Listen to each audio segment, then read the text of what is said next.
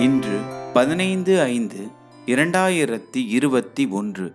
இன்றைய ஆதிக்க கிரகம் சனி. வழிபட வேண்டிய தெய்வம் திருநள்ளாறு சனி பெருமான். இன்று சதுர்த்தி விரதம் இன்றைய விடுகதை. தமிழ் முதலெழுத்தின் நெடில் அடுத்த எழுத்து கடைசி மூன்றும் சேர்த்தால் ஒரு எண்ணிக்கை. மொத்தத்தில் இது வருமுன் எச்சரிக்கை தேவை. அது என்ன?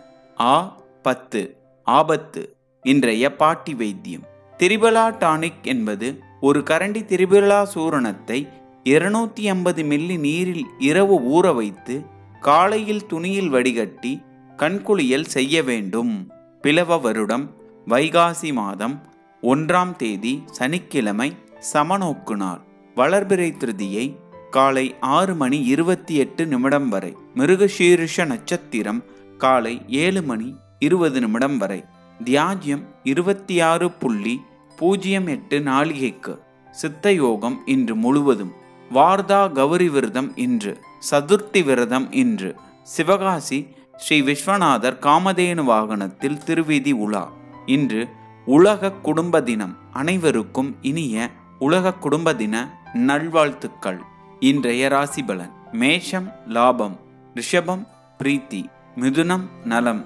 கடகம் வெற்றி சிம்மம் உயர்வு கன்னி ஆர்வம் துலாம் களிப்பு விருச்சகம் சிக்கல் தனுசு பகை மகரம் சிந்தனை கும்பம் மேன்மை மீனம் ஓய்வு. இன்றைய ராகு காலம் ஒன்பது மணி முதல் பத்து முப்பது மணி வரை. யமகண்டம் ஒன்று முப்பது மணி முதல் மூன்று மணி வரை. சூளம் கிழக்கு பரிகாரம் தயிர். இன்றைய நல்ல நேரம் காலை ஏழு முப்பது மணி முதல் எட்டு முப்பது மணி வரை. மாலை மூன்று மணி முதல் நான்கு மணி வரை.